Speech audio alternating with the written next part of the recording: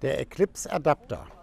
Wenn Sie Ihr Frontsonndach Eclipse direkt am Wohnwagen verwenden möchten und gleichzeitig auch das Seitenteil wieder zu montieren, brauchen Sie diesen Eclipse Adapter.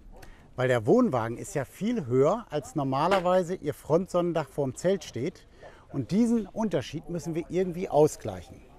Dieser Eclipse Adapter ist ein extra Teil und wird ganz einfach montiert. Ich ziehe es hinten in die Wohnwagenkederschiene ein dann habe ich diese Verbindungsprofile. Die werden auf den Keder des Adapters aufgeschoben und einfach oben auf das Gestänge aufgeklickt. Das Ganze mache ich von hinten nach vorne. Es gibt kürzere Adapterteile und längere Adapterteile. Das ergibt sich daraus, wie praktisch an der Seite die Klettverschlüsse sind. Wenn ich diesen Adapter jetzt montiert habe, sehen Sie, ich mache aus einer Schräge eine Gerade.